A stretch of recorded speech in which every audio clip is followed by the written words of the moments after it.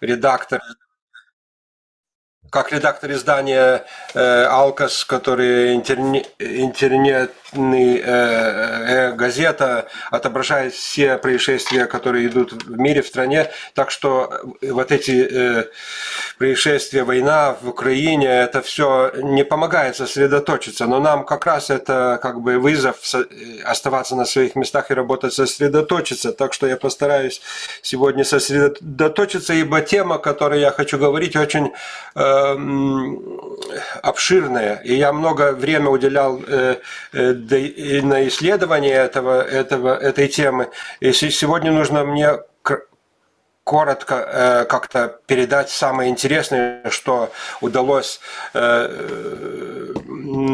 исследовать. Я сам физик, астроном, окончил университет физический физик, э, работавший на тему лазеров, которая у нас в Литве сейчас очень хорошо развита, но ушел в этнокультуру или в космологию через астрономию э, к знаниям э, предков, ибо понял одну простую вещь, которую ну, нельзя просто не почувствовать, что мы можем лазеры исследовать, там небесные тела, ракеты создавать, но кто сделает ту работу, кто исследует наше мировоззрение древних наших предков, которые дают нам чувство э, идентитета, которые дают нам корни, э, возвращают, э, возвращают к жизни народ, культуру. Никто. Лазеры могут исследовать там американцы, японцы и так далее, а, а в Литве очень мало людей. И, и вот я как-то определился, что свои знания – соединю с этнокультурой, начал собирать астрономический фольклор в экспедициях, когда в 19 эти 20, 20 веке, 90-е годы, когда мы в 90-е годы собирали фольклор, э, движение фольклорное, я вступил в него и собирал астрономический фольклор. Mm-hmm. Астрономическую, астрономические знания собирал э, в экспедициях в разных местах. Были экспедиции в Латвии, где проживает литовское население, это в Даугавпилс местности там, и в Польше, и в других местах за, за границей границей Литвы. Э, и это моя работа дала мне обширный архив. Сейчас не все расшифровано на разных пленках, там, в разных тетрадях, очень много материала. И когда я достиг уже вот этого века своего, ну, нужно было бы, наверное, очертить вокруг себя э, рябиновой палкой круг и за него не выступать. Хотя бы стреляют или там прыгают. Все это как-то довести до публикации и так далее. Вот сейчас я этим хочу этим заняться, но все, все не могу э, от, отойти от общественных разных других своих обязательств, редакционных работ в газете, интернетные алкосолты и так далее. Так что вот Сейчас вы меня возвратили э, вот этим, этим семинаром к э, теме, и я сам прочитал еще раз свои работы на э, тематику вот, космологических э, семантик э, прялок, прялок э, символики и символическом значении э, орнаментики э, этнографических предметов и так далее, где я много работал в конце 20 века. И сейчас я прочитал это, я не могу поверить, что это мои работы, там так гениально все написано, исследовано.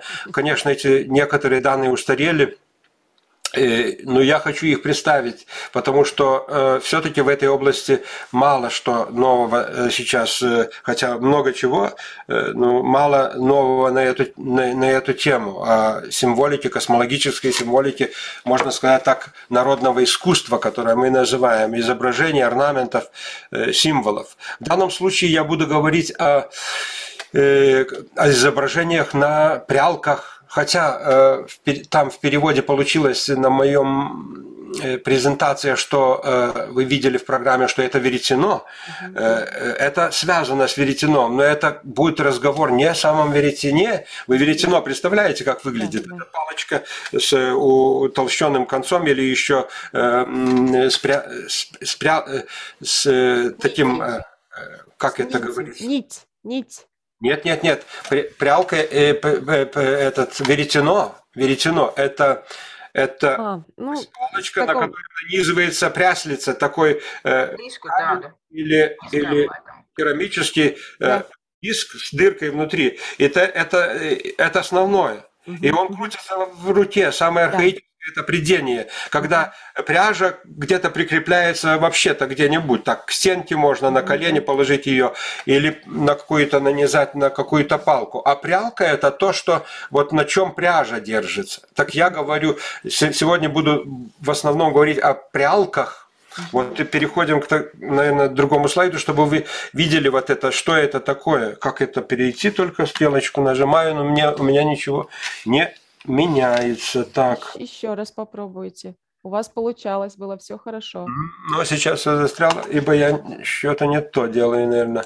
Так, ну вот, изменил, да? Да, да, все прекрасно. Э, вот видите, вот о чем речь. Вот э, э, веретено у женщины в руке, правой руке, да, веретено.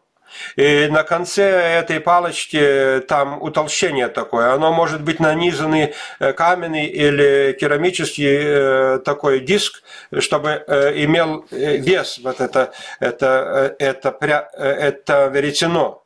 И вот на него наматывается нитка из этого волокна, из пряжи, которая в данном случае здесь на такой на таком устройстве деревянном. Это прялка. Вот эта прялка. Вот на правой стороне видна голова, голова прялки. Вы видите ее. Там с орнаментикой. Вот так веретено с прялкой напрямую связано, э, поскольку основной инструмент э, веретено в руке правой женщины, а прялка это устройство для э, прикрепления пряжи. Вот там палочкой такой пряжа прикреплена, в прялке дырка, дырки есть. Видите, вот она вылезла, вот эта палочка тут. И тут пряжа. Так вот, я говорю о орнаментике прялок. И сейчас хочу сказать, что это прялки в Латвии, Литве, и здесь в наших балтийских странах они уникальный предмет.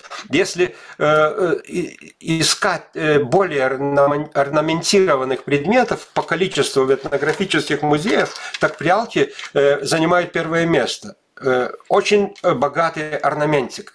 Очень богатая орнаментика, и у нас э, уцелело немало прялок, э, когда еще вот этого колеса не было, да, тогда они уменьшаются и получаются э, маленькими прялочками. А сейчас вот эти прялки, да, 19 век, самый старый... 18 века, 19 век, начало 20 века, потом исчезают, ибо веретено, круг вот этот, уже э, прибор э, получается, и там придение э, и, иначе, но они сохраняются. Они сохраняются в виде маленьких прялок потом на колесе, когда это переходит. И вот что э, привлекает внимание? Вот эти орнаменты. Что привлекает в них? Э, что они консервативны, что вот то, что вы видите тут, оно, э, вот, вот такие орнаменты, вот на этих прялок, они повторяются по всем прялкам. Только некоторые модификации, э, когда человек, который это изготавливал, уходит куда-то немножко в сторону, этих мотивов очень редки. Так что прялки сохраняют вот эту структуру э, э, все время, через эти века, и они не изменяются. Это очень интересно, очень странно. Что, почему? Почему тут нету каких-то пиктографических сюжетов с жизни человека, какие-нибудь там сцены, я не знаю, до трактора или, или изображение какой-то об, обыденной жизни на них. Почему это вот это такая консервативная орнаментика, и это сегментные звезды, вот такие, круж, круги, кружочки. Как пример, российские прялки на, на территории России э, изменяются. Там э, полихромия э, приходит, э, украшивание, изображение обыденных сцен. Люди сидят у стола, там что-то, э, кто-то скачет на, на, на лошадях. Ну, в общем, рисуется уже уже не вот эта абстракция, а эта абстракция говорит о чем-то очень архетипическом, архаическом, э, ну, я бы сказал бы, это, это схема, как математическая какая-то модель, которую изменять нельзя, табу. Он проходит, и человек, который это делает, он не позволяет себе ничего изменить. Только композиции, только расположение. И вот это в народном искусстве просто говорится это декор или украшение, да, мы говорим. И все искусствоведы не, не ступают дальше, только позволяют себе некоторые высказывания, что это солнце, это звезды, там дерево, в общем, что это какие-то мотивы э, космические, и исследователи разные это э, высказывали по поводу значения этих орнаментов. Э, более всего, ближе к моей концепции, которую я развиваю в своем докладе, был наш великий металлог Норбертас Велюс. Он говорил, что в этом рисунке можно видеть сферы, космические сферы, как, как, как древний человек представлял структуру космоса. Но он говорил, э, Земля, подземелье, небо, ну как мы на мировом дереве э, проецируем э, три космические сферы, так, конечно, говорим о Земле, о подземном мире и небесном мире. Три какие-то три сферы. Так вот такие три сферы тут можно и увидеть сразу первым взглядом. Если говорить о сферах, мы видим три сферы. И вот эти три сферы, как бы Велюс тут высказал такое предположение, но исследований никаких не проводил. Я же э, исследовал несколько сотен э, прялок, как физик я подошел к этому на, структурно, э, на структуральном математическом уровне. Я исследовал, э, исследовал расп определение э, структур, орнаментов, э, их количество и так далее, и что получилось. Я исследовал просто сейчас э, на, вот это, вот видите еще пару примеров. Тут по польскому шашлица написано дистов по-английски. Вот, просто сейчас взглянем, а потом придем. Вот есть очень мало прялок, на которых полихромия. Тут видна рассказка вот это. это. Так и не ясно. Это вообще это не было очень распространено. Это уникальные такие вот образцы. И, и э, идем дальше. Еще пример, чтобы вы видели, вот как это рас, распределяется. Да, и вот мои исследования. Я исследовал очень много, долго исследовал э, и э, с, определил, что данные схеме видите э, вот эти круги. Я их называл кругами, кругами, э, в них внутри звезды, в данном случае видите лепестковые звезды, но вообще говорится о структурах кругах. Сколько кругов изображается на э, поверхности э, головы прялки, так называется эта часть, верхушка прялки, голова прялки. Так что получилось? Видите, три, э, три круга 40% исследуемого материала, четыре круга 2% только, другое 9%, и один круг 6%, и два круга 43%.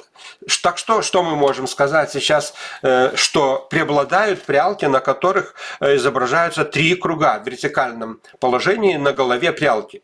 Э, в другой, другой, на другом уровне это три круга, два круга, два и три круга занимают 40 и 43 процента. Ну, два круга, 43%, даже больше, чем три круга, да? Так что идем посмотрим, что дальше тогда еще получилось. Э, так что тоже исследовал, а сколько лепестков э, в звездах, которые изображаются э, внутри кругов. Ну, видите статистику. 6 лепестков 46% материала. На втором месте что будет тогда?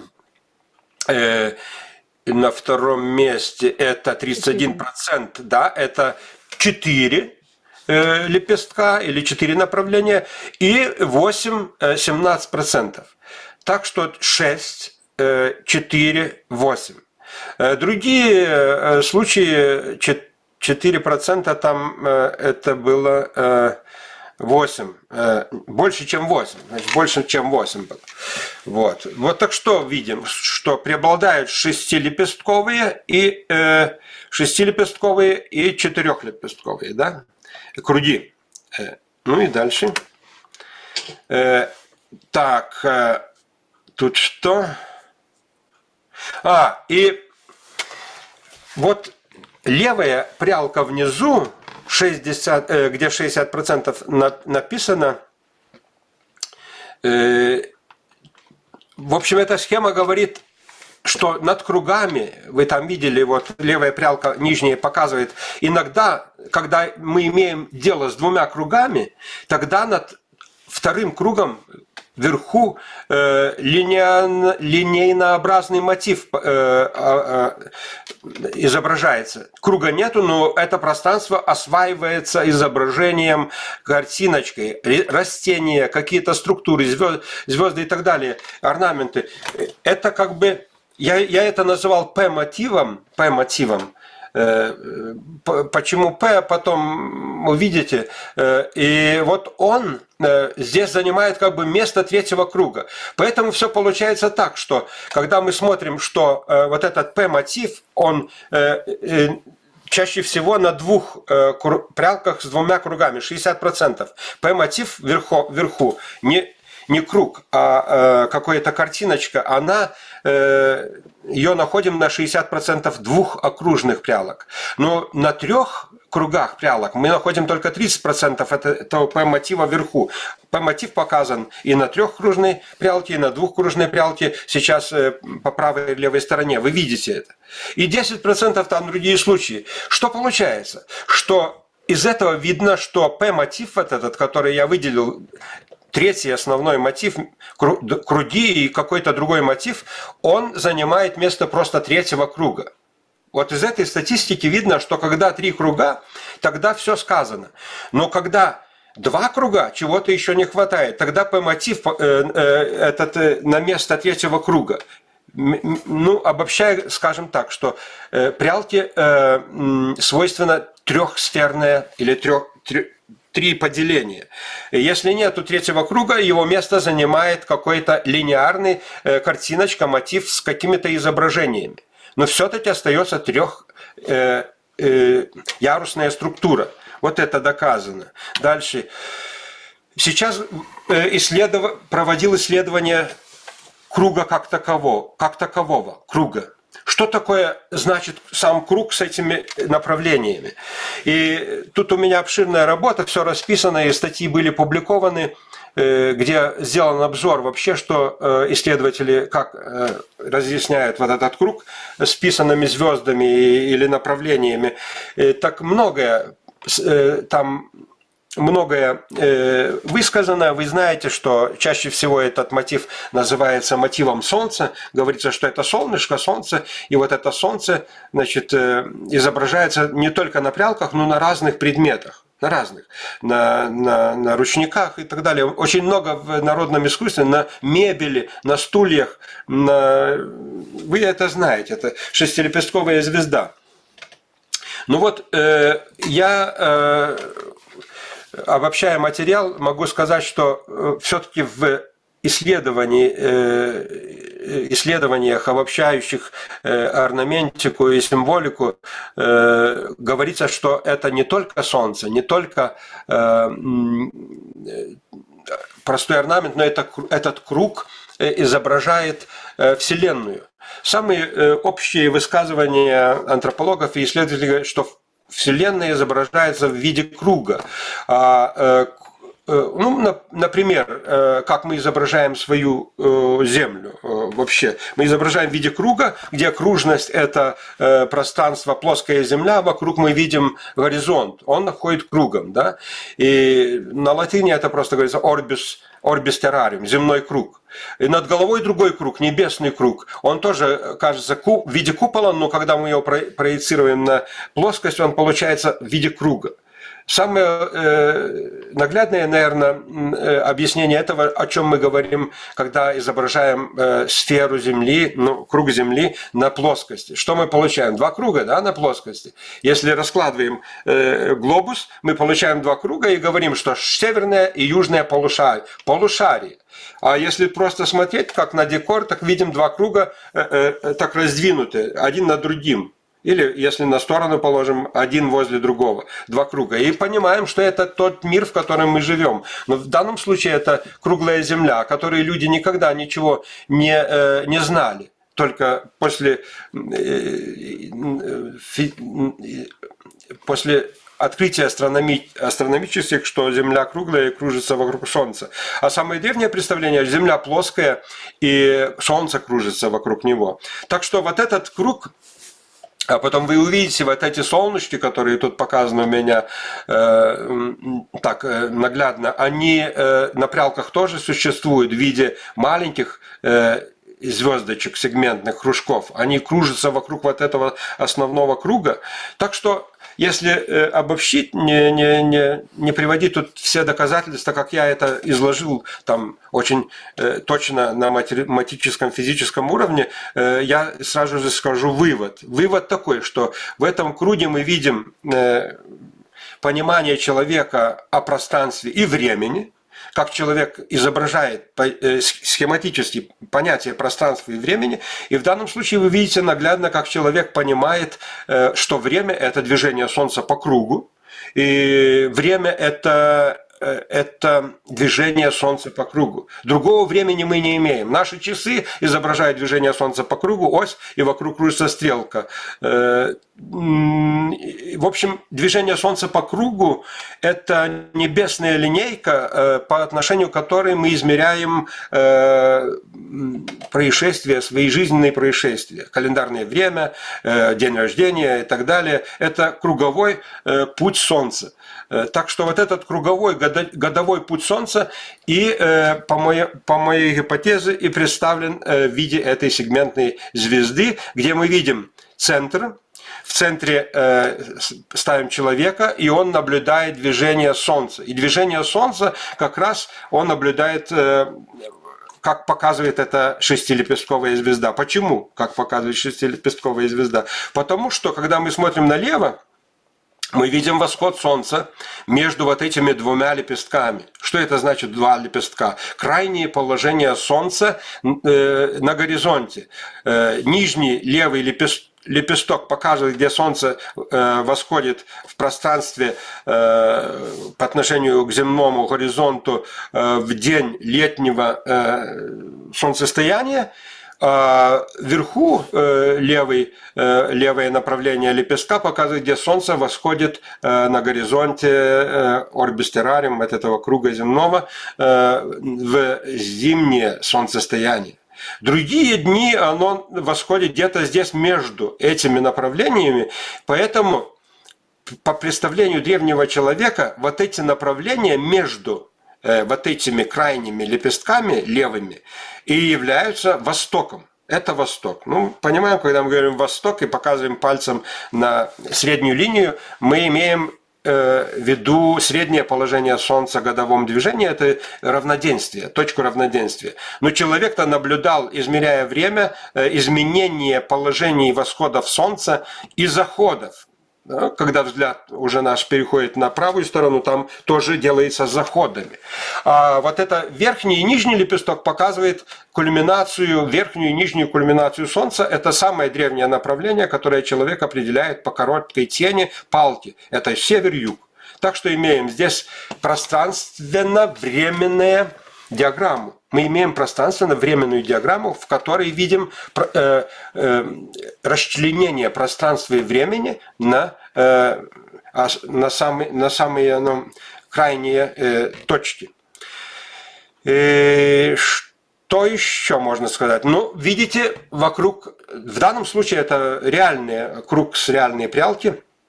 Вы видите меандр на, э, по краям круга вы видите меандр. Меандр дальше в работах всех моих там дальше разъясняется как вода. Линия воды. Это, естественно, все это э, изображается вода, вот как меандр – это ломаная линия.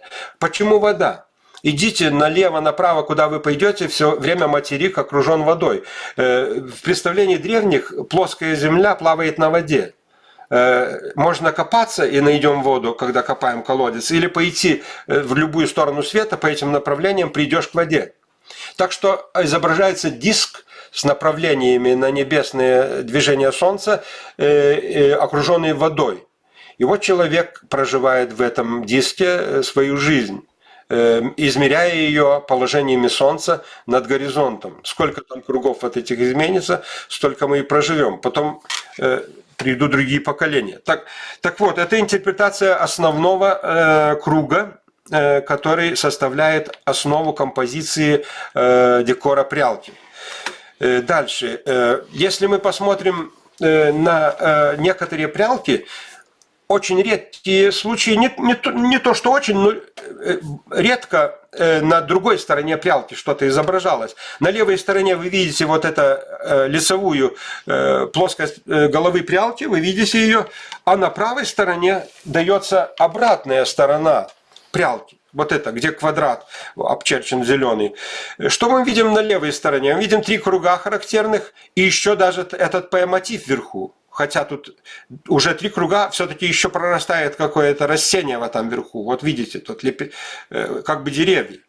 Э, на правой стороне что вы видите, э, на другой стороне? Вместо первого круга что-то изменилось нижнего. Вверху остаются, композиция остается. Что мы видим на месте правого круга?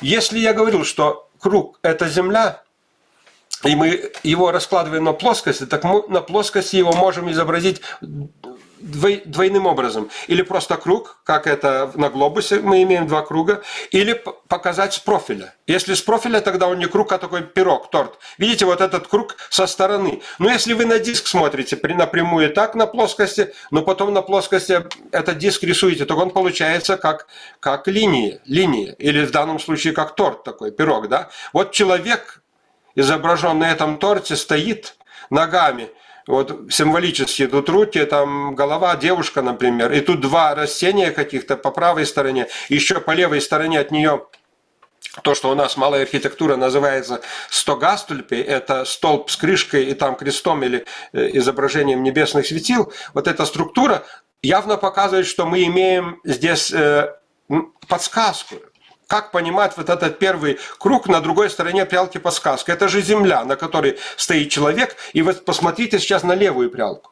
Если это человек, вот он стоит здесь, так вот тут он виден, вот тут человек, вот тут другой идет, там птички летают, тут растения прорастают. А между двумя кругами, вы видите, тут такой столб, еще поддерживается двумя столбиками со стороны, чтобы поддержать вот этот круг над головой. Значит, человек стоит между двумя кругами – какой же второй круг над головой, вот этот, который здесь оставлен не со стороны, а просто как на плоскости, как круг.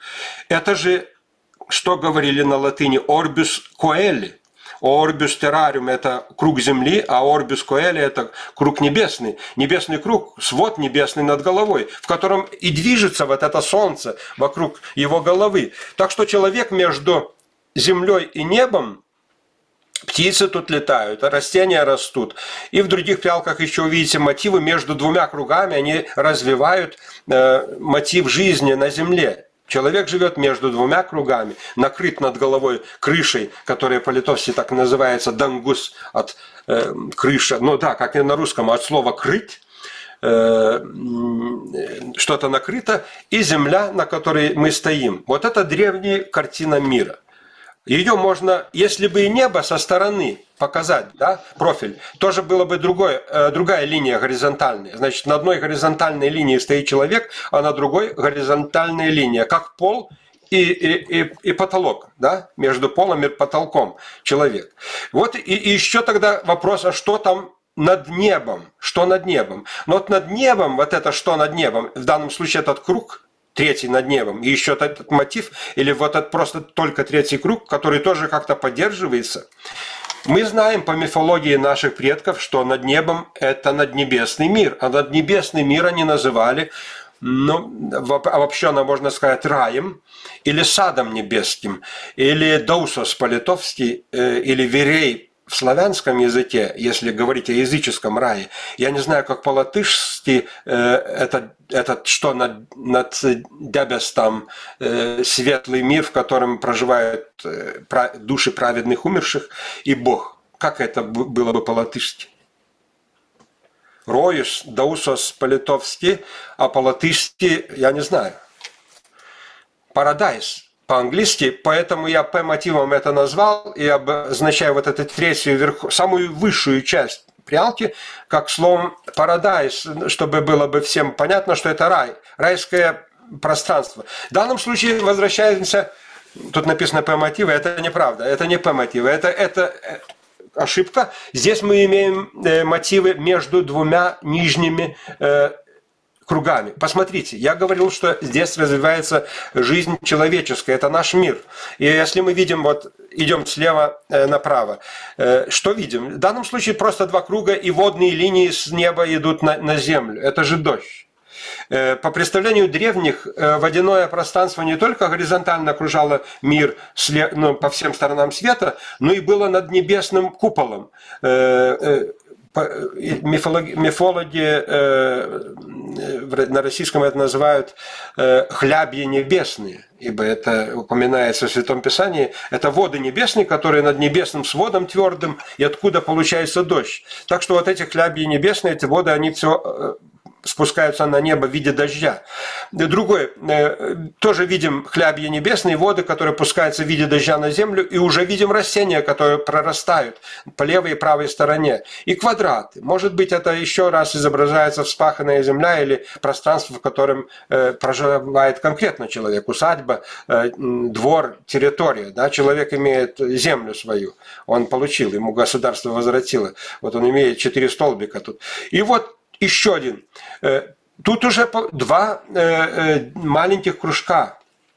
И вот они уже начинают находиться, два маленьких кружка. Тоже жизнь человека, воды, все здесь есть, земля человеческая и два кружка. И вот Тут, ой, я перескочил. Тут еще на левой нижней стороне тоже два кружка, и тоже вода обозначена. А, э, в средней тоже вода, растения, да. И вот тут тоже эти квадраты земли, растения и так далее, и воды небесные. Э, два кружка потом я это там тоже исследовал статистическое распределение маленьких кружков, э, оказалось, что это восходящее и заходящее солнце. Вот человек стоит здесь по вертикали, небо над головой, земля под ногами, и на левой стороне, и на правой восходит и заходит солнце. Это уже можно объяснять как солярные символы не, не небесный свет, как дам, и не небесный круг, как здесь, а просто маленькие солнца, которые э, уже кружатся вокруг этих кругов, земного и небесного круга, по своим дорогам. Это само солнце. Так, и дальше еще ближе, тут увеличенные мотивы, о которых мы только что говорили э, между двумя нижними кругами. Вот этот мотив увеличен специально больше, чтобы видели человек, видите человека, курица или, или, или гусь э, ходит тут. Э, ну и тут мотивы земли, и мотивы растений, и мотивы небесных вод, которые дают жизнь растениям, растительной жизни между землей и небом, кругом земли, кругом неба. И в данном случае вот земля, и, и тут как бы такие падают с неба э, семена э, водяные. Ну вот, еще увеличена, э, увеличена эта часть, где этот столб. Посмотрите, как столб изображен, держащий небо над головой. Тут еще два, две такие отростки, укрепляющие столб. И тут тоже растение, человек, птичка летает. Вот, и даже вот э, змея какая-то, видите, ползет. Вот можно S, S-фигуру увидите у ног человека. И, и тут растение, вот так мир. А тут еще, вот смотрите, кто-то летает, вот такой вот птица, ножки какие-то. Тут очень много всего. Вот тут птичка и так далее. Очень красиво. Ну, идем дальше. И вот еще несколько прялок показано, как вид, видно это пространство. Видите, на левой э, земля, на которой скачет человек на, на коне, э, добрый молодец, там э, как бы солнце одно, солнце другое по правой стороне, и потом не, небесный свод уже с растениями вверху, как бы не райским садом. На средней прялке тоже видим земное пространство, уже показано, что Земля вот как раз между этими лепестками, и тут и кружится жизнь человека, это же направление на восходы свет, света, солнца, и тут лепесток, семена, э, птичка одна, три птички, земля и так далее. И вот небо, и над небесным сводом там опять же растения, отдельная полусфера, полу Э, растения и так далее. И вот подсказка на другой стороне, что все-таки мир состоит из двух кругов, между которыми какой-то столб стоит. Так, и мы идем сейчас П-мотив. Вот это П-мотив, это то, что наверху прялок, э, первое и второе показывает. Третье я сравнил э, с украшениями на э, пасхальных яйцах, орнаментиках.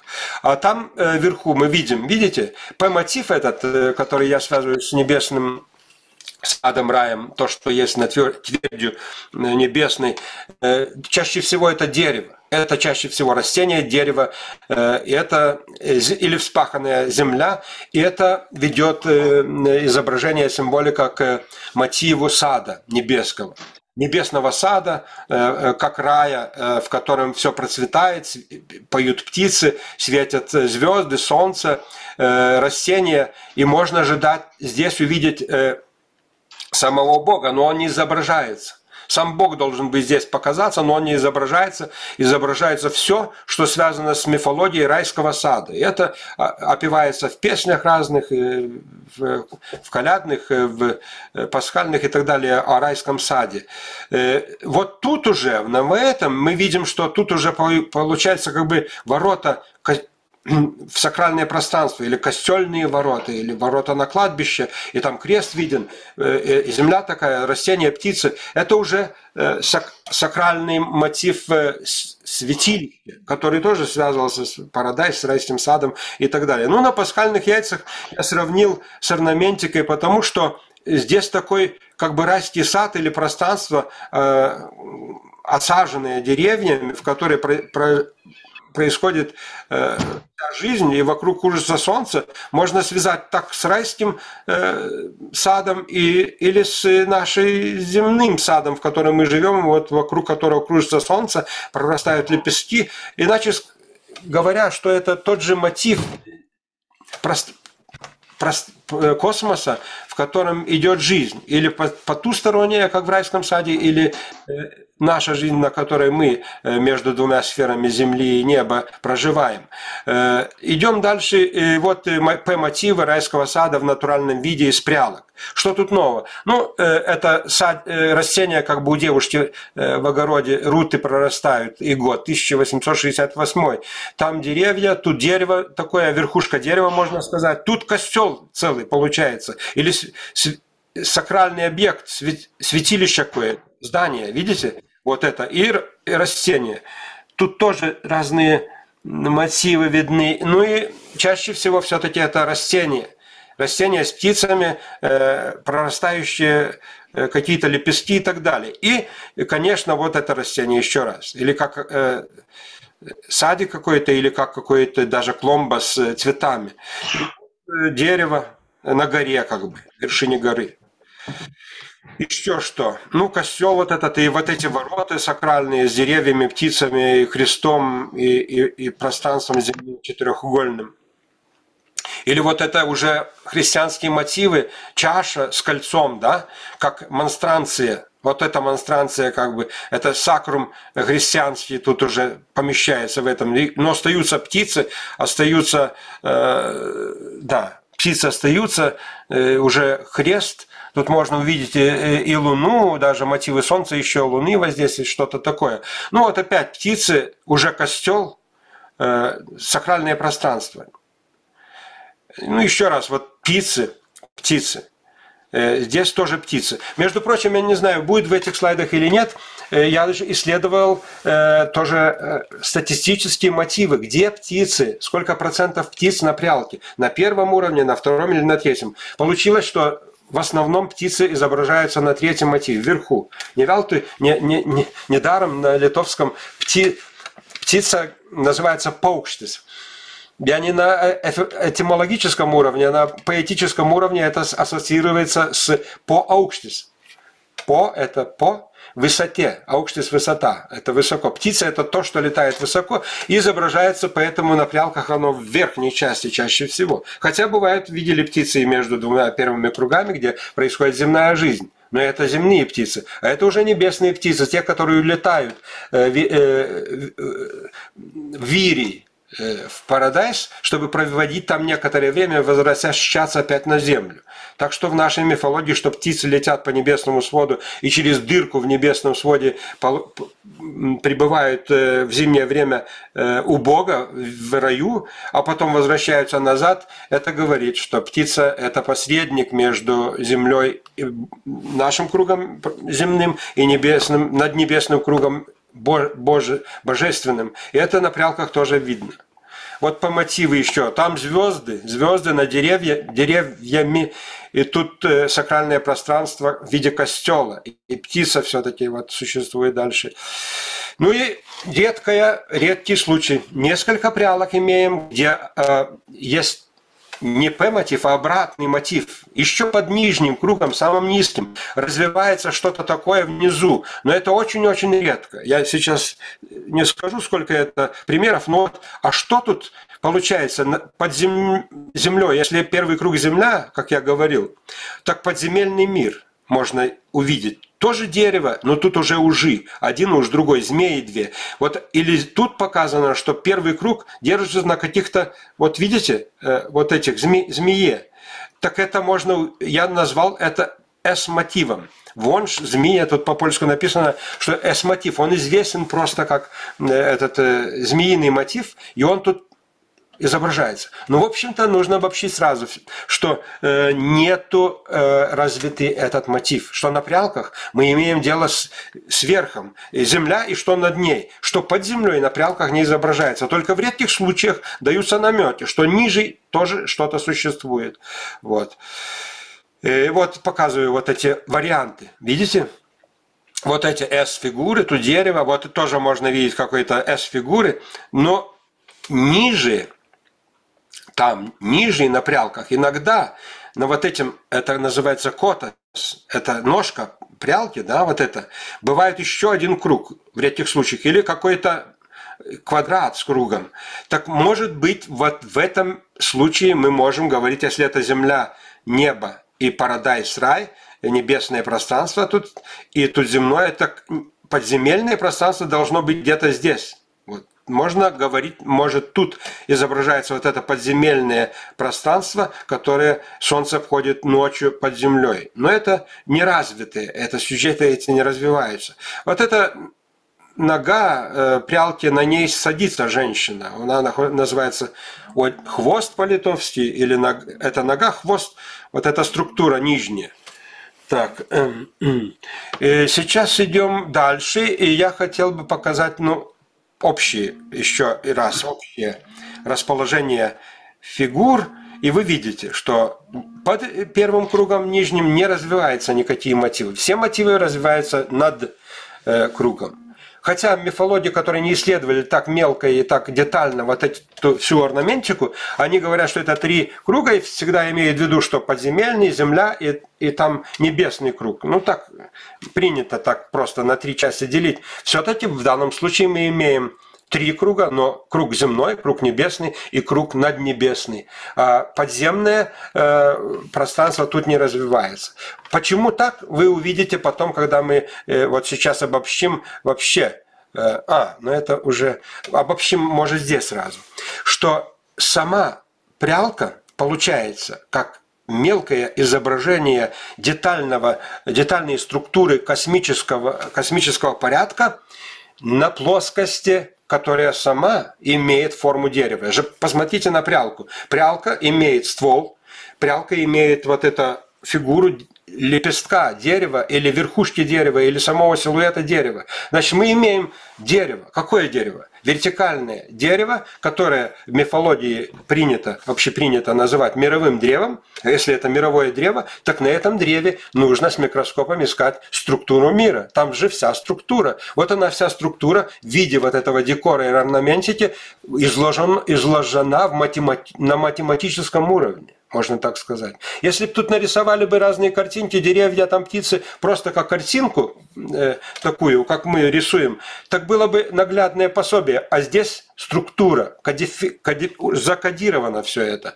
И тот, который это э, исполняет сейчас человек вот это по традиции, он уже этого не понимает. В 19 веке я представляю, что люди еще понимали, что они изображают. И потом я покажу примеры которые доказывают, что те, которые вот это изображали в 19 веке, они понимали, что они изображают. Они не говорили, что это декоры, украшения, они говорили о космосе, о структуре мира, в котором мы живем, и оно тут передавалось умышленно. Так что идем дальше, что мы увидим, когда вот кружки, эти, как я, ну, прибор уже, не, видите, ну, как это называть, коловороток по-польску, это э, станок такой, да, тогда прялочка уменьшается, она вот вверху мало пшаслица по-польски, это значит, что малая прялка, прялка, прялка. По-литовски другие названия вербсте или превербсте так э, пшашлица и пша, по-польску, а как это перевести на русский, ну, будем называть мал, маленькими прялками, хорошо?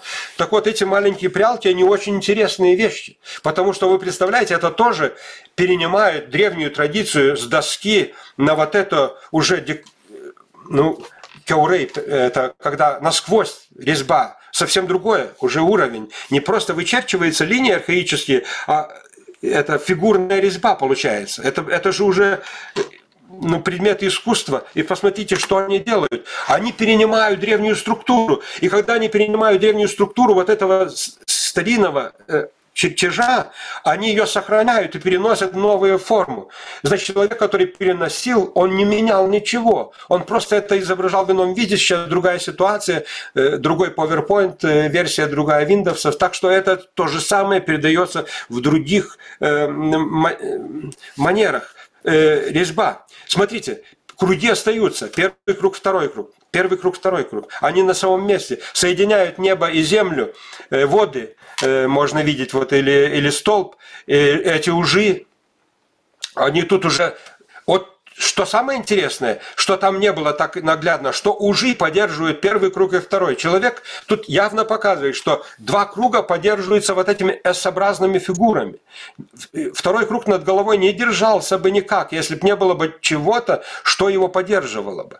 Вот видите, как интересно. Или вот на, на левой, смотрите, вот эта вот фигурочка, как бы глобус, круглый глобус разрезан и разделен на две части, когда две плоскости одна другую, значит, э, дополняют. Круг северное полушарие, южное и, или небесный, небесный круг и земной круг. И вот П-мотив остается в виде миниатюры. Вот это что самое интересное. А тут наверху никогда не исчезает третий компонент. Он просто миниатюризирован, ибо прялка сама миниатюризируется, из доски она делается маленькой. Так что все уменьшается, но вот остается вот этот значок. Посмотрите, в данном случае это лицо антропоморфный. Это сам Бог сейчас уже появился, когда там еще его не, не, не изображали, не показывали. Было очень мало прялок, на которых Бог там изображался, но в виде абстрактных каких-то растений можно было бы или геометрических фигур только его увидеть, вообразить и еще э, ну, думать, что, может, я только воображаю. Так, тут он показан уже антропоморфически. Ну и растения. Крестик, растение, э, Бог, э, растение – ромб. Это же П-мотив тот же самый. Э, смотрите сейчас, о чем речь. Вот по левой стороне мы имеем прялку одну, на по правой стороне другую. В центре древнюю прялку, где э, большая доска, и на нем вычерчивается схема. А тут уже вырезаются схемы мировые. Э, эти две прялки на левой и на правой стороне, на левой стороне не, как, не характерны. Это уже, это уже то, о чем я говорил, что человек себе не позволял изображать натуральных каких-то, значит, э, картинок, что он только графически изображал. Здесь позволяется. Видите, это редкий случай. На правой стороне э, тоже не позволяется еще. Ну, Бог, вид Бога, глаза из каких-то семян, из этого круга и цветков, можно увидеть антропоморфное существо с ногами, и как бы небо, смотрящее на нас. И вот уже этот верхушка над небом тут миниатюра. Так что на левой стороне? На левой стороне, смотрите сейчас, человек, который вырезал, он понимал, что вырезает, и переводит на наглядный язык э, картину мира.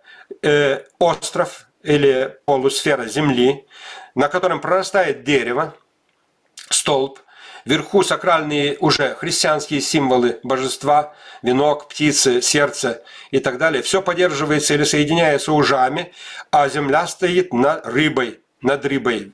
Рыба, рыбу поддерживает ящик. Это же изображение, э, ну, даже до христианского, христианской космографии тоже говорилось, что большая рыба, левитан, держит землю на себе, и когда она трясется, землетрясение. В общем, человек изобразил что?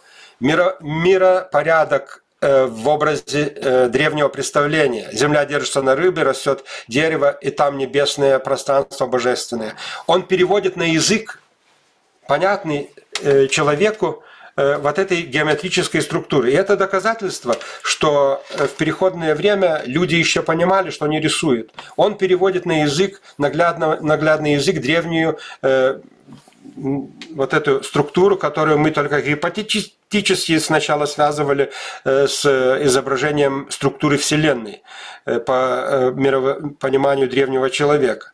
Что еще мы можем посмотреть? Ну вот еще одна прялка. Это очень редкие случаи, когда все разъясняется, о чем речь идет. На правой прялке мы видим ту же картину, которая была уже на этой прялке, где рыба, земля, дерево и небесное пространство. Здесь видите опять же гору, остров, поддерживаемый на каких-то э, вот фундамент, на фундаменте каком-то, э, это ось, столб, держит на, на верху вот этот круг, вот эта крышка, у нас это называется стогастульпис, это крыш, крышка-столб, это же малые архитектурные формы, они э, распространены сейчас в Литве.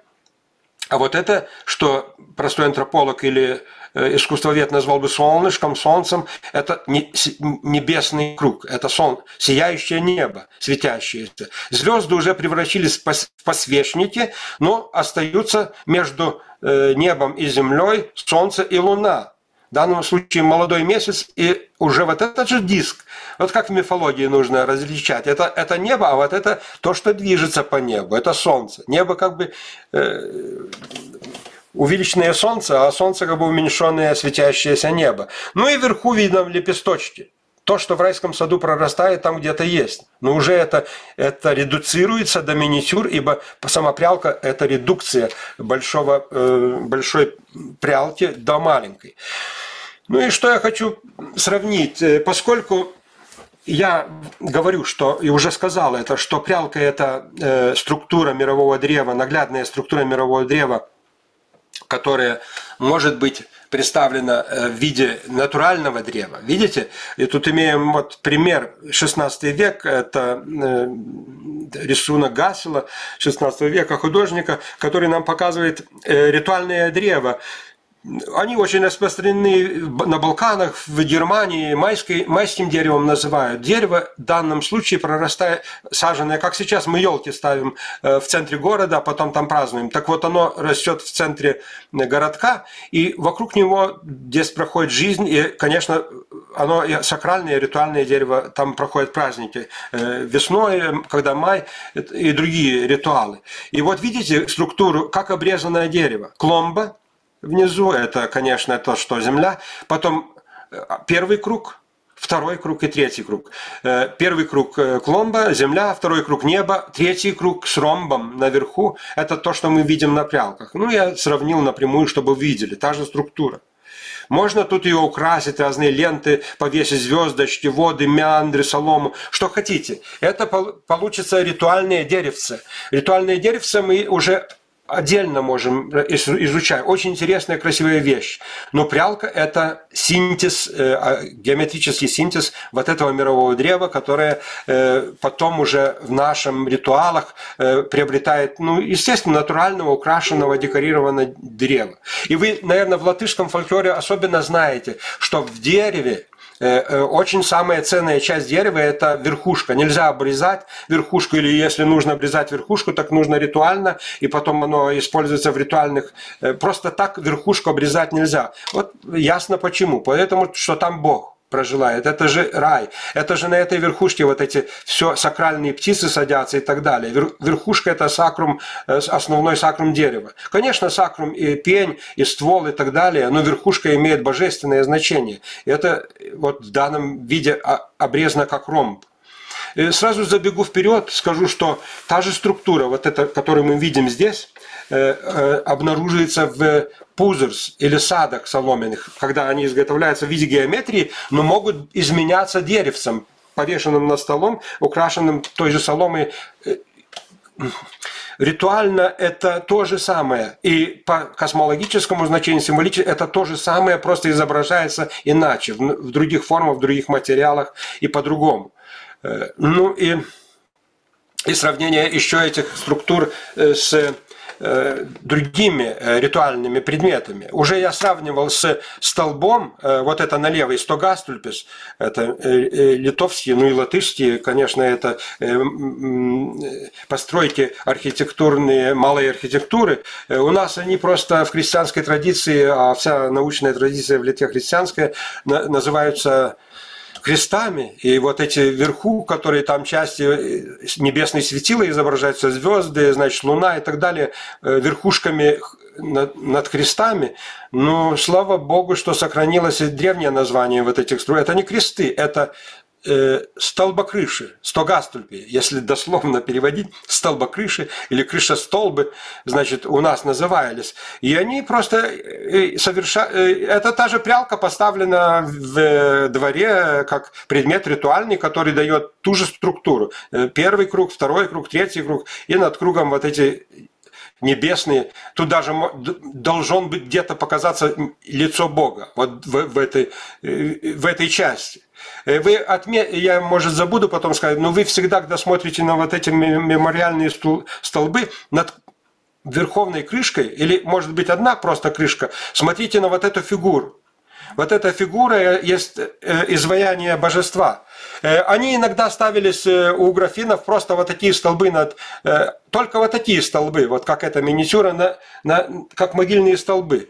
И это можно видеть силуэт божества. Как это? Истукан, стабас по-литовски не антропоморфизированный еще силуэт какого-то божества. Не знаю, будут слайды, которые это тут покажут или нет. Ну вот и на правой стороне, как в, у германов, на Балканах и в других странах, у нас это редко бывает, э, изображается это свадебное или ритуальное майское деревце, которое носят украшенное э, разными полосками цветными и так далее, место свадебного флага и, и, и так далее. Вот видите те же структуры. Один круг, другой круг, третий круг, и потом вот этот вот растение, которое изображает то, что на прялке. Это то же самое. Это просто сделали люди, вот даже тут, даже, ну, как земля и небо, вот как треугольник можно видеть, и все такое. Это то же самое. Сейчас все понятно и наглядно э, видно, что это та же самая структура представлена в разных манерах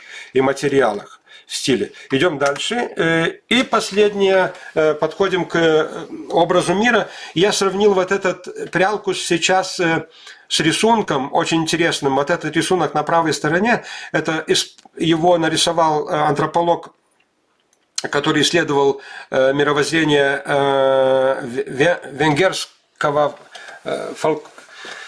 как это венгерских сказок. И у него был Лайош Ами, такой э, рассказчик сказок, э, который рассказывал очень много сказок, э, и, и его попросили, чтобы он, он был ум, такой умный человек, чтобы он нарисовал бы а как выглядит мир, если смотреть с, э, ну, со сказок, когда человек идет, где-то в дырку попадает в подземелье, или где-то там идет уже на небе, ощущает себя, что полез там и залез на небо и так далее. Как все, вот как в мире сказок, как бы выглядел мир. И он нарисовал, вот как бы выглядел мир, если э, расшифровать, как вот в сказках он рассказывает. И получились те же три сферы, еще вокруг движется солнце, все это воссоединяет, все воссоединяет воды, э, и везде вот это свечение над э, плоскостью одна сфера, другая сфера, третья сфера и три сферы.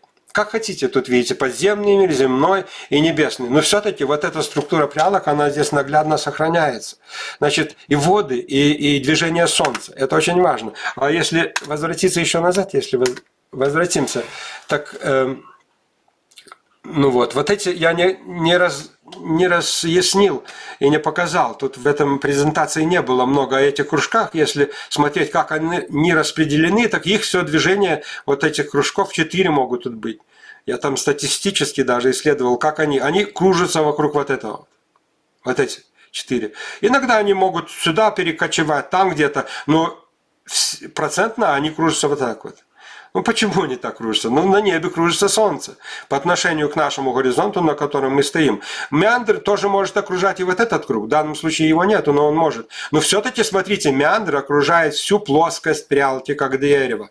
Э, видите, вот он идет здесь. Вот это то, что у Шами все окружает вода. Вода идет вот здесь. Это, если бы это был бы какой-то как щит, так по краям вода, а, в, в середине этого щита уже э, расположение миропорядка.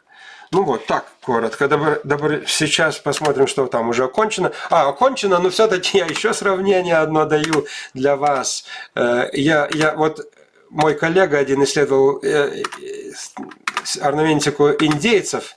И вот у индейцев Оджиб, Оджибба, племени Оджибба, вот такое изображение, которое посередине здесь, э, как они изображают мир. Вот видите, там стоят вигвамы, э, там солнце где-то восходит на левой стороне, тут может заходит черный вот, треугольник, тут земля, тут жизнь человека, вот все олени, тут, ну, в общем, то, что окружает человека на земле. И потом э, вот солнце над головой светит, э, небо э, вда, э, под небом, вот, а небо это вот линия, вот солнце движется тут, и там над, верху, над небом, над этой сферой тут божество. Вот, это. вот так абстрактно та же структура. Посмотрите налево, то же самое. Да? Солнце вот оно под небом, вот небо, э, вот э, божество вверху, вот земля. Но тут не рисуются люди, не рисуются люди. И не надо, мы знаем, что мы здесь. И тут еще две фигуры, вот эти э, Джева Житя, он это как вот это как они объясняют вот эти линии, вот стрелки, прорастающее древо жизни. Так может быть дерево, могут быть, как видим в данном случае, ужи, которые соединяют небо с землей. И мы в фольклоре имеем немало э, высказываний, что вот ужи, э, вот эта радуга, это уж, который соединяет небо с землей. И еще даже говорится, что этот уж, который соединяет небо с землей, перекачивает воду с земли на небо. И они вот перекачивают воду, такие шланги у нас называется смаки, или они сосут воду с озер и, и туда передвигают. Вот вода на земле, вода на небе там, и потом она выпадает дождем. Если вы будете смотреть на архитектуру вот этих столбов крыш, так когда две крышки, э, или крышка, и потом этот, плос, вот эта плоскость там, так четыре S-фигуры поддерживают эту крышку с четырех сторон.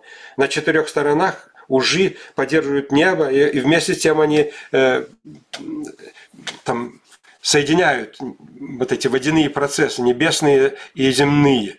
Говорят, не иди, если радуга туда, тебя всосет туда, всосет и втянет. И потом не, неизвестно, что будет. Ну и в конце все-таки еще один рисуночек, уже оканчиваем.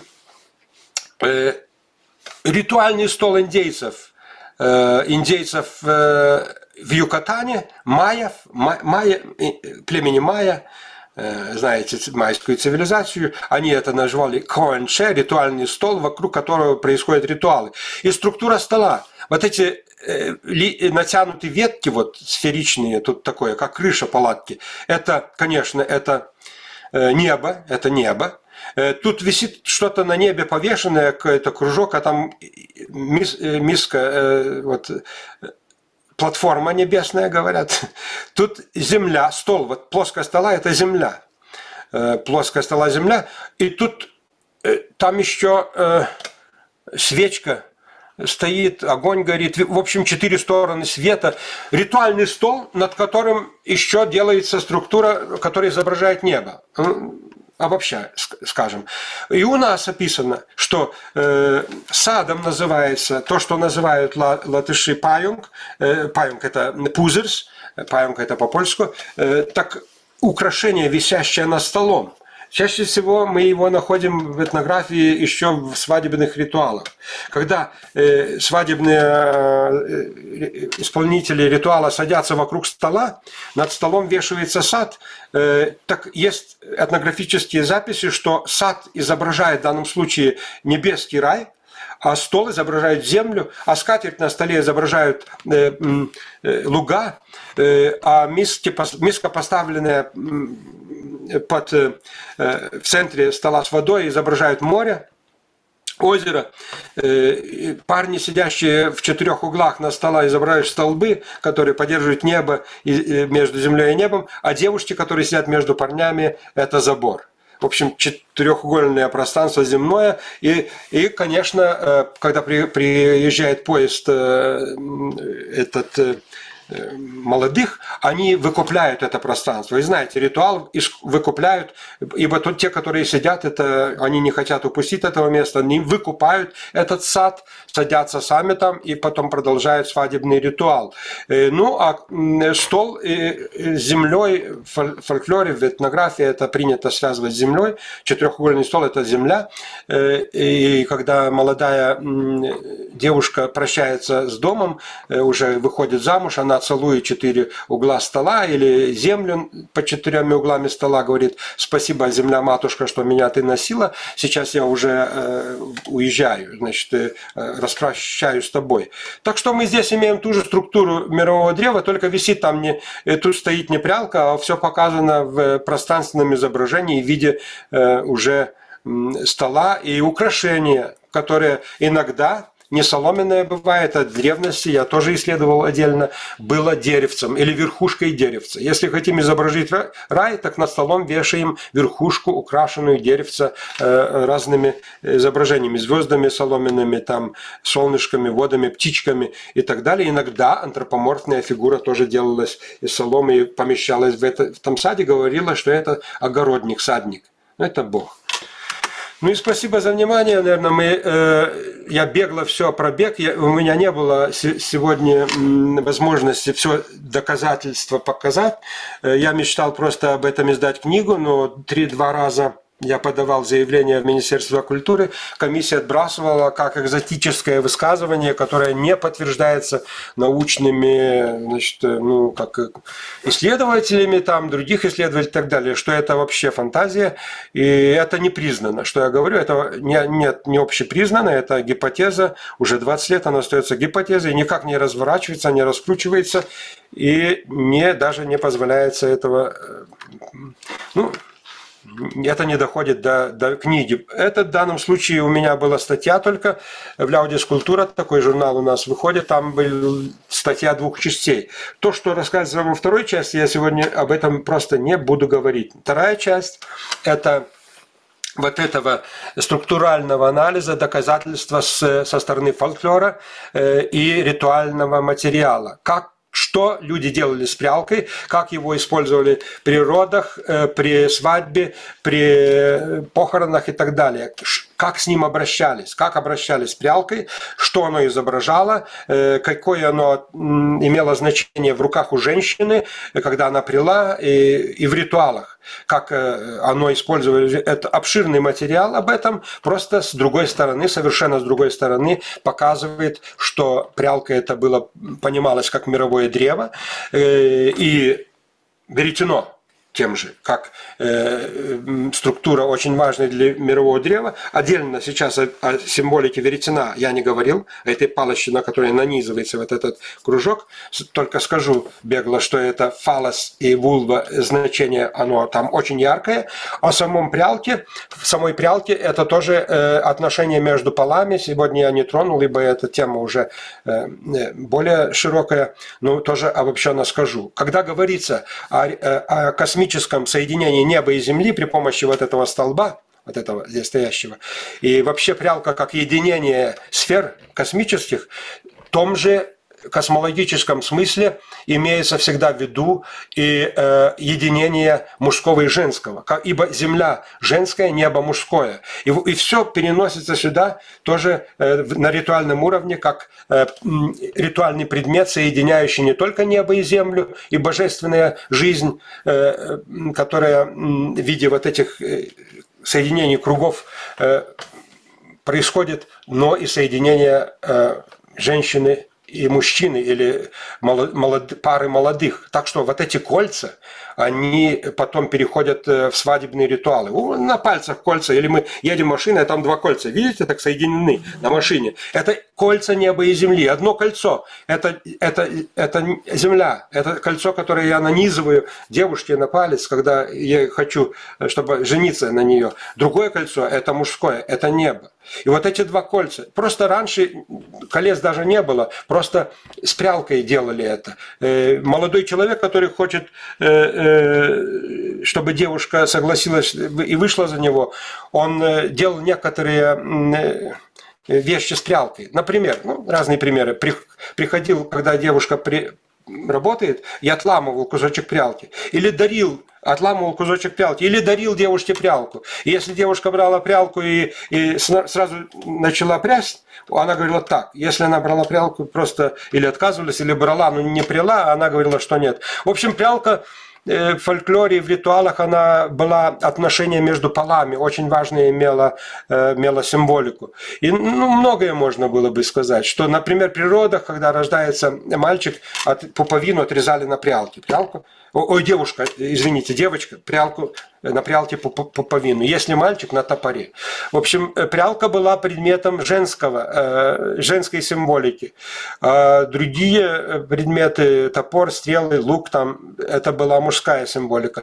И вообще хочу наконец, в конце несколько цитат, как прялка использовалась все-таки из этого, о чем я говорить не буду. Очень интересное сказать в магии женщины что делали. Если я найду сейчас, вот я кручу в своем компьютере другом вот этот текст, как они, что они делали. Из памяти э, даже не прялки, а там, наверное, будет о пряслице, о веретене говорится. Но очень интересные вещи.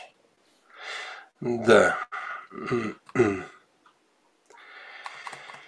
Магия и вы, девушки, которые меня слушаете, можете это сделать тогда. Только нужно будет прибор этот сделать или купить. Вот, наверное, подождите, я нашел или нет? У меня тут записи бегают.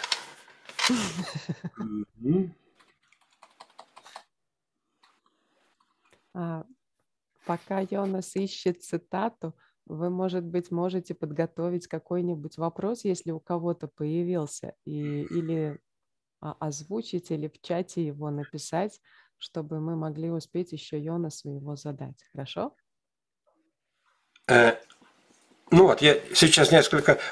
Отдельный разговор о пряслицах и, этих э, веретене. Но вот посмотрите сейчас, э, все-таки нужно сказать, вот на этой схеме, где я не, даю рай, небо, земля, да, смотрите, когда на сторону мы поворачиваем вот этот круг, он получается как пряслица. Это тот кружок из камня или из... Очень археологи часто находят с дыркой внутри, который нанизывается на палку. Так что палка...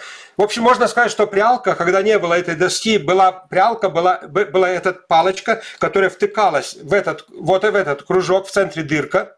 Вот тут, и она пронизывала насквозь вот эта вещь. И вот этот кружок вот была земля. А, а эта палка, это был фалос, это небесная стрела. Это, ну, если переходить на образ, это как бы молния, пронизывающая э, мембрану. Так что вот это имело тот же мировой э, веретено. О веретене много писано э, уже с древних времен, что это образ Вселенной, кружащейся и так далее. Ну вот так, так что это тоже прялка. Но прялка в другом виде, когда вот этот круг пронизывается палочкой. Это самое древнее. И я еще хотел бы сказать, что вообще-то как это представить, что самое древнее это просто была палка, палочка, на конце которой утолщение. Это что значит? Это не надо объяснять. В Индии это везде стоит. А у нас уже не стоит, да. Так что там э, вот эта символика, это палка. Поголис по-литовски. Это палка. И потом только это утолщение усилялось этим камешком с дыркой внутри, пронизывалось еще более на конце. Да это же, это же действие, которое совершил обезьяноподобный человек. Он сначала брал палку в руку, которая имела в конце утолщение. Этой палкой увеличил свою мощь, силу, достигал цели э, не уже не рукой, которая утолщается вот этим вот, как это, кумчатость, но палкой. Э, он, когда в эту палку прикреплял жил, с помощью жила камень, это получается топор, это сила, э, это перкунас, это так далее, это уже камень и и дерево. Вот эти две, соединения камня с деревом э, нам дает э, цивилизацию. Потом уже камнем можешь стучать по дереву, огонь извлечь из, из, из дерева, да, это разжигание дерево. Ну, и, и этот предмет самый древний тоже был. Вы соедин... Прялка это была камень и дерево соединены в одно. Э, вот, э, потом уже керамика, там эти глиняные или другие обжиные, получаются кружки. Ну что делала девушка? Девушка, если хотела, чтобы парень кружился около нее, она с этой мыслью крутила просто так, не, не пряла, крутила вот это веретено в руке. Потом, если хотела, чтобы парень кружился около нее и принадлежал ей, брала эту, э, эту, это веретено и пронизала сердце крота. Ну, девушки, берете, э, ловите крота, берете это веретено, пронизаете сердце с мыслью, чтобы этот парень, его сердце так пронзило, чтобы он крутился, как это крутится веретено, вокруг вас. Вот. И это сразу он начинается крутиться, только нужно сосредоточиться. Э, если хотела привязать к себе мужчину, когда месячные у женщины, ну сейчас тоже бывают месячные, мужчины тогда не ясно куда убегают. И нужно, но сейчас это не проблема, конечно. В древности во время месячных нельзя было заниматься э, жизненными ритуалами. В общем, так что, э, что делала женщина? Она посмотрела, где мужчина выходит на двор, ну и делает, и, и как это, писает, как по-русски В это место она втыкала этот... Веретено. Веретено в это место втыкала веретено. Все, он никуда не побежит. Он будет ждать, пока у нее кончатся месячные. Четвертое, последнее. Если женщина думала, а сейчас это очень часто бывает, что э, мужчина или парень ей изменяет, девушка думает, что парень мне, наверное, изменяет.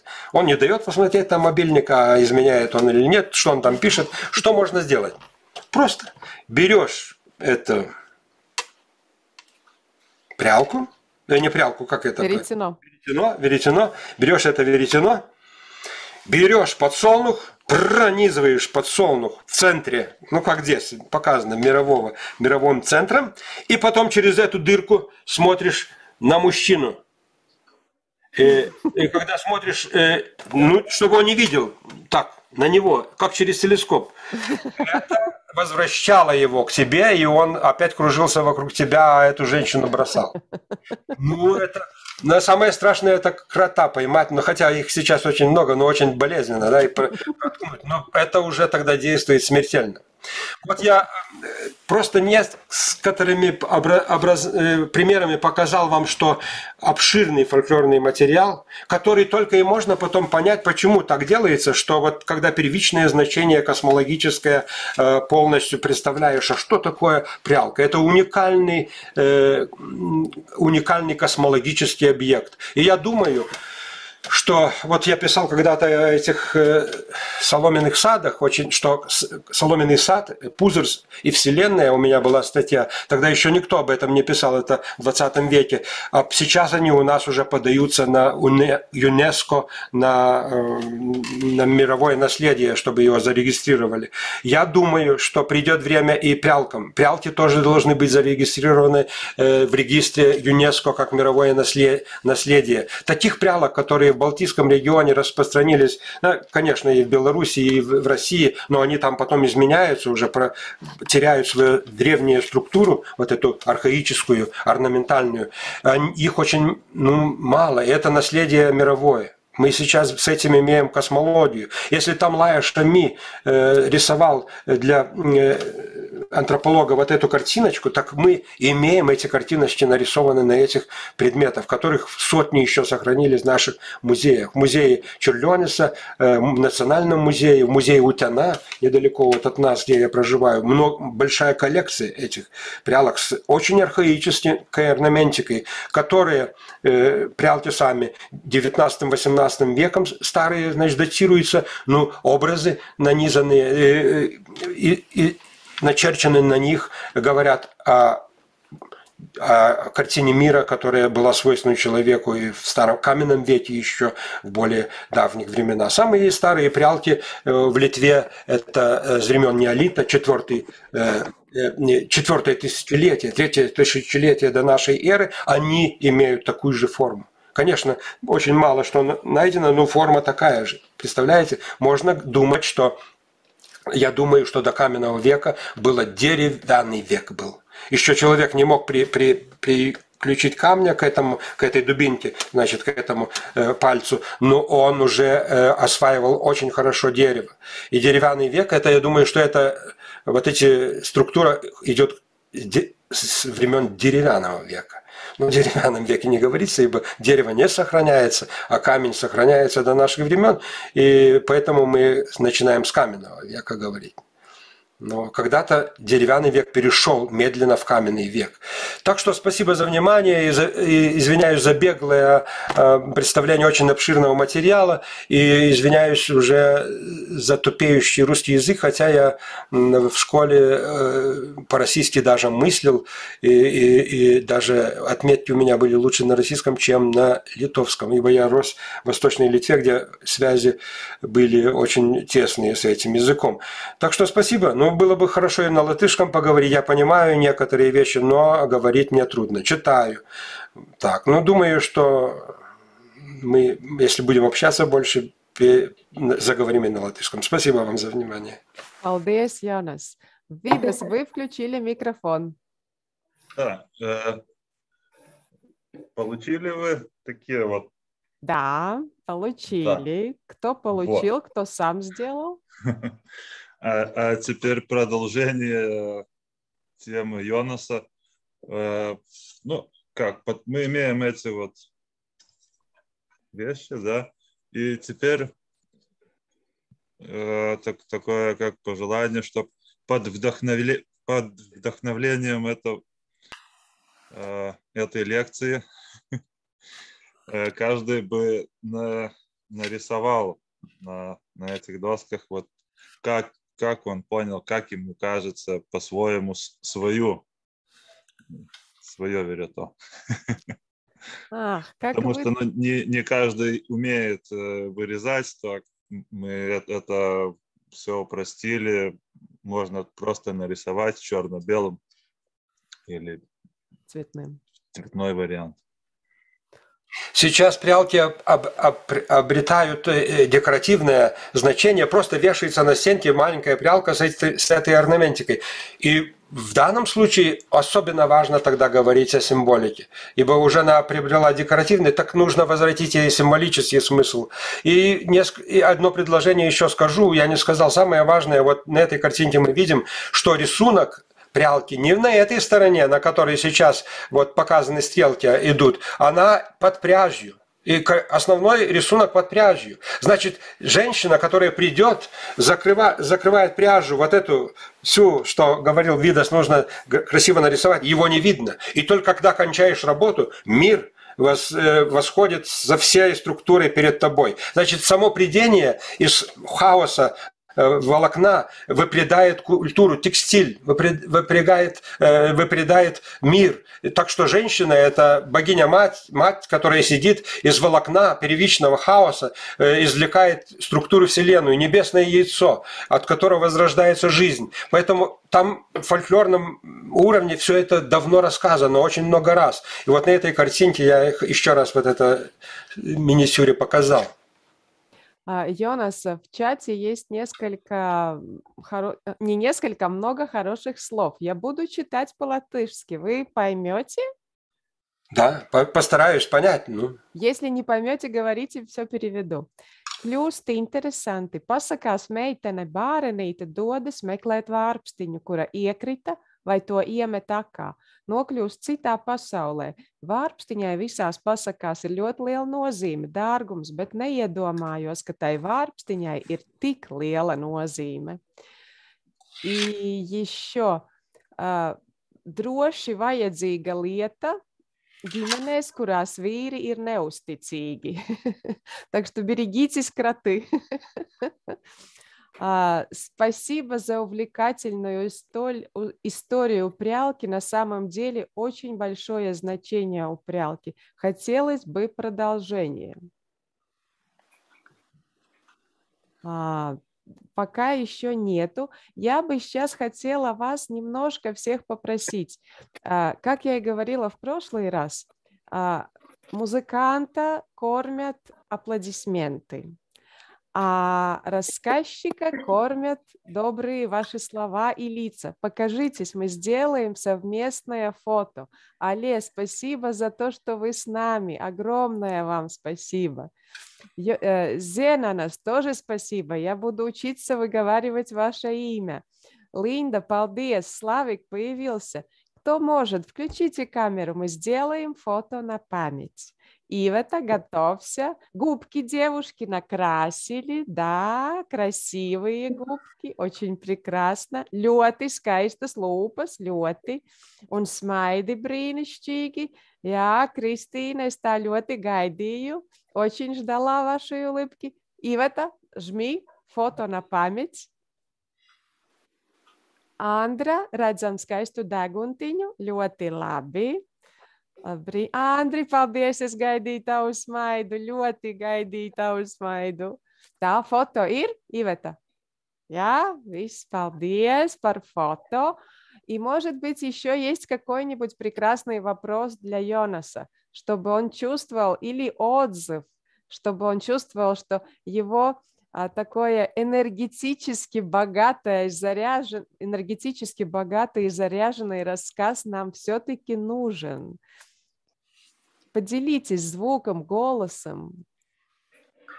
Ну, мы слышали Йонаса э, вот так по-натуральному. Это было что-то очень хорошее. Спасибо еще раз. Мы с детьми там поехали. Очень было интересно тоже. Хорошо. Зена, Зена нас включил микрофон, что-то хочет Йонасу сказать? можно вести гурьбу самых непослушных детей. Он их завораживает на долгое-долгое время, так как нас. Спасибо. Ивета, запомни, куда нам надо вести своих непослушных детей.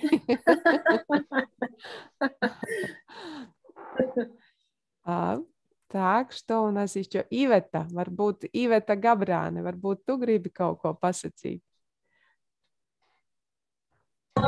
А, Labdien visiem! Es gribu pateikt sirsnīgi paldies. Я хотела бы сказать огромное спасибо, потому что сегодня я смотрела не только я, но смотрели и мои ученики, так что очень-очень tas ļoti, tiešām ļoti izzinoši, ļoti noderīgi un ļoti priecājos, ka bērniem būs tas iespējas to pielietot arī tehnoloģi, priekšmetā tehnoloģijas un di dizains. Visi saka jums čau. Paldies, Ивета. Так что не только мы смотрели, но целый класс непослушных ребят. Они были заворожены. Спасибо, Ачу, балдес. А, Написали что-то на белорусском, но я там могу что-то напортачить. Так, дякую вялики за чудо. Они опо... Чудесный рассказ. Ай, вот скажите лучше на, на, на своем языке, не теряйтесь, а то я тут так наговорю всего чего. Так, хорошо. Э, огромное спасибо э, за энтузиазм, за энергию. Да, Да, чтобы вы почувствовали, что у нас языки тоже близкие. да, да, да, близкие. И э, я очень рада этим встречам и очень рада, что у нас получилось с Йонасом поговорить до того, как вы все сюда зашли. И его рассказ сегодня был настолько что- уместен, что- большое огромное вам спасибо. Всем хороших выходных, спокойных. Будьте со своими любимыми. Обнимите их, подурачьтесь, что-нибудь сделайте хорошее, одно или два или три хороших дела. Улыбнитесь своим любимым, позвоните своим любимым. И будем встречаться в следующую пятницу. Огромное вам спасибо. Йонас, мы приедем к вам с непослушными ребятами или с неверными мужьями. Жду, уже начинаю ждать. Спасибо. Спасибо. Лина, спасибо за вашу прекрасную программу. До встречи. До До встречи. встречи. Спасибо, Йонас. Огромное-огромное вам спасибо. До свидания. Андрей.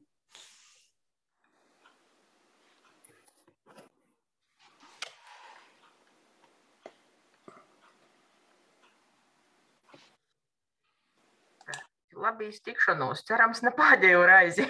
м, Cerams, nā. Savā to līkās, ka oi, oi. Bijis labi. Andris saka, bijis labi. viss labi. Laika labi, da, da. nu, tieši tā, kā jau vecais Boņuks sacīja, nu, ka viss būs labi. Nu, otrāk vai vēlāk. Labi, tagad atkal visiem garšīgas pusdienas. Atā. Arī tev, Andri, atā. Atā. Atkai. Cīši interesanti bija. Es, es eh, īstenībā nevarēju saprast, par ko es kādu, nu, možu gadus divu, tu priekšmetu baigi poša gribu apģūt. Vienkārši sprie, nu, viena līta kā rateņš. Rateņš ir bijis man no dzimšanas. Nu, kā Mhm. papa visot ir visu vilnu vērpusi poša. Mhm. It kā, it kā process saprotams, viss tas skaitas notiek, sajūtas, nu, kā, kā sprāst, kā šķeterētie atšķirība, visa. Bet variants ir tāds, ka, nu, tīši parastu itu, kas ir orpsteņa mazu. Tu, Sandra, neesi mēģinājusi, ne? Vērt. No, no, Ja? no. Nu, tas no. nozīmē, ka es paraudzēšu. Par to, ka es jau esmu nu, Pinteresta kaudzi pīlēsējusi to skaistumu, nu, attālu vienkārši visu, ko domāju, ai, vajag broļam paprasīt, lai man sataisa kādu skaistu. Mhm. Ar izjūtas, ka broļam nevajadzētu prasīt, vajadzētu prasīt kam citam. Oi, oi, es tagad atstoju īslāktu īrakstu. Neko. Strāšņā nerunājam, neskaistē.